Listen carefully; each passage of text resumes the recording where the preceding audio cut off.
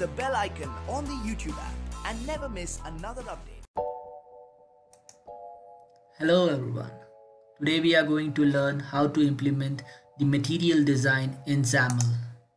So this is the most comprehensive and easy to use material design UI libraries across any platform. With material design in XAML toolkit, you can easily bring beautiful desktop applications to life using a modern and popular design language. This is fully open source and one of the most popular GUI libraries for WPF. So without any further ado, let's get started.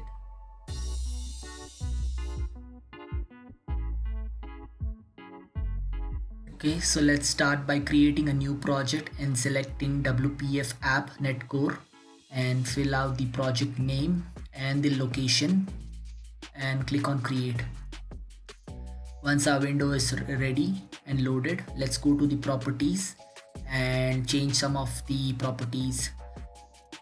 Select the window and go to properties. And first property that we are going to change is the allow transparency checkbox. Okay. Now let's select the stack panel and draw a side panel onto the window. Now let's select one more stack panel and draw it on the window next to the previous stack panel. And this time we'll uh, change the orientation to horizontal. And let's make a duplicate of the second stack panel and place it at the bottom. Now let's uh, change the background of all the three stack panels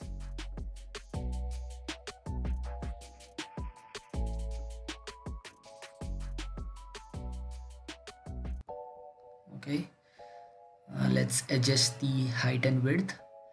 And now let's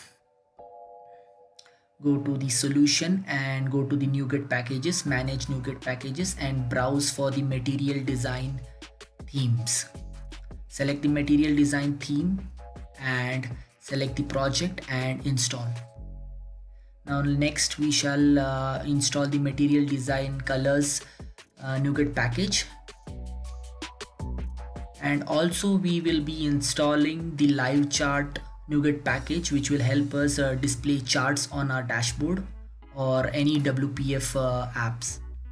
So select the live charts WPF uh, NuGet package and select the project and click on install. Also make sure you install the right version and uh, the install packages will be displayed under the install tab.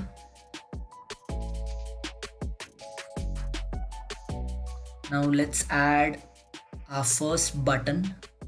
Here I am just uh, designing this uh, window just for demonstration purposes to populate all the controls and to show you how they are different in the material design and how they look uh, and how they act when you click on them.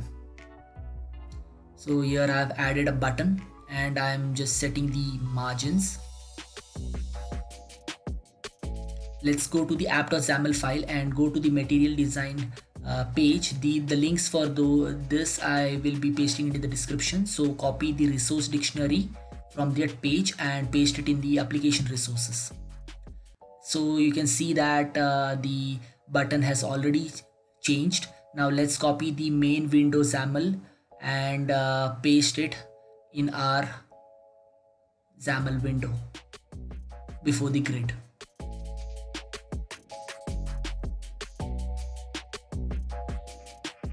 Okay. Uh, so you can see uh, the changes. Now let's remove the uh, let's add a style to the button. So let's select a static resource. This is this is static resource because we have added the uh, resources in the app.xaml file.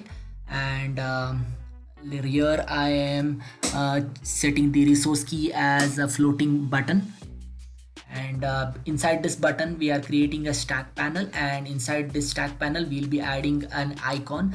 There are tons of icons in the material design theme pack. So you can write material design and select a pack icon. And the type of pack icon that I've selected is uh, hamburger menu.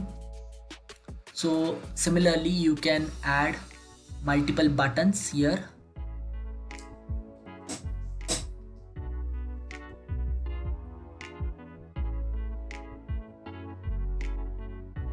here I'm just uh, adjusting the height and width of the button floating button.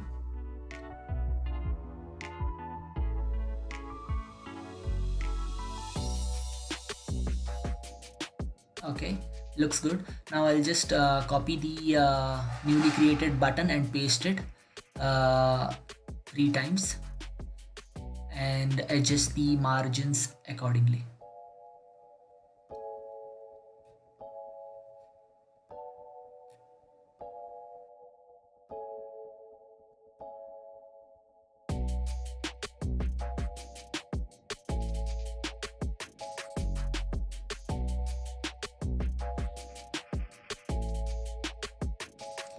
so here I'm copy pasting the uh, buttons and changing the icons for them. You can set your uh, desired icons from the icon packs. You can also go to the material design uh, website and see the list of icons that you have and you can use them here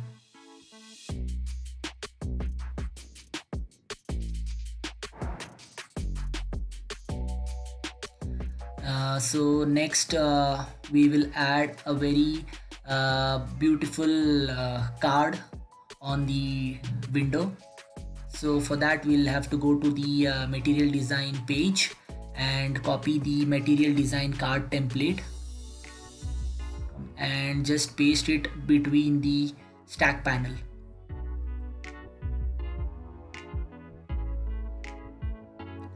Okay.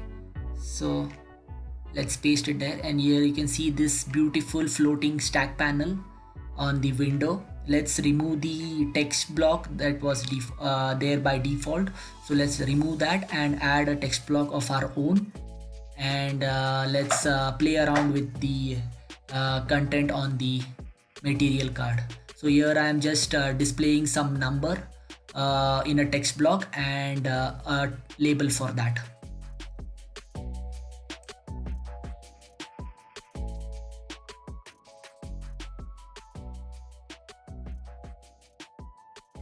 so similarly I'll be adding uh, a few more uh, material design cards on the window. And uh, I'll speed up this process here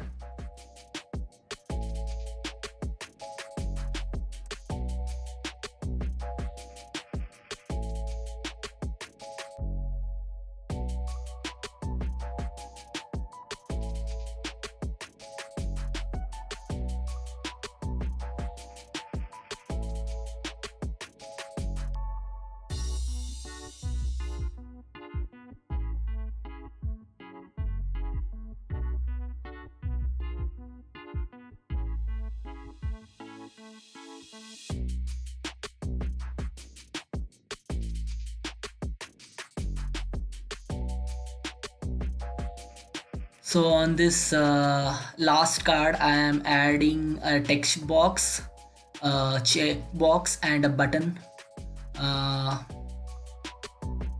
on the card. And here you can see already see that uh, how the new button uh, design looks like and the other controls as well.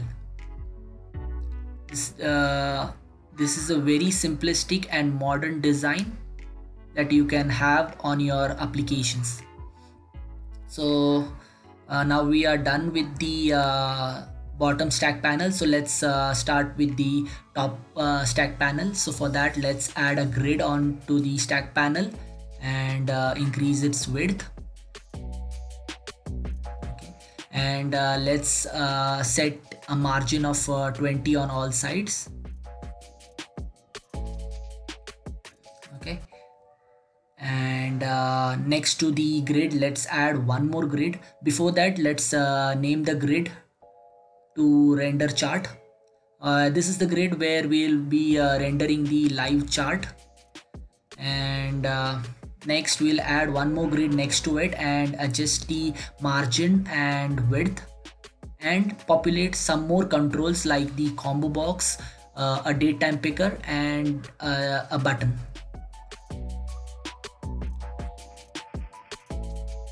here I'll speed up this process again because this uh, adding of controls from the toolbox is pretty uh, simple and it uh, and the themes will be automatically applied to the newly added buttons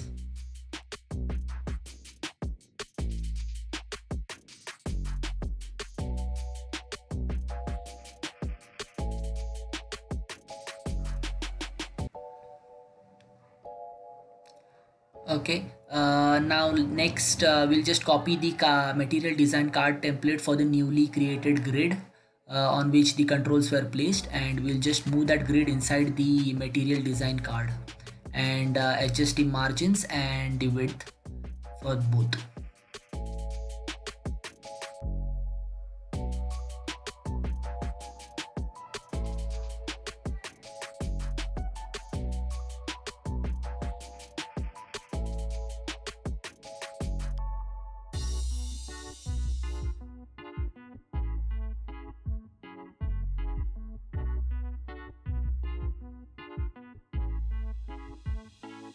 and uh, now for the grid that was uh, that will be uh, showing you the live chart we'll also add a material card inside uh, for that. And move the grid inside the material card.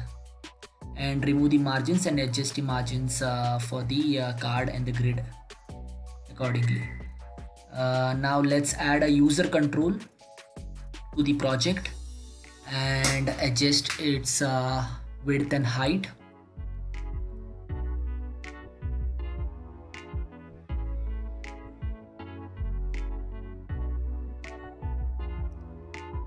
now let's add a reference uh, to the of the live chart to the uh, user control.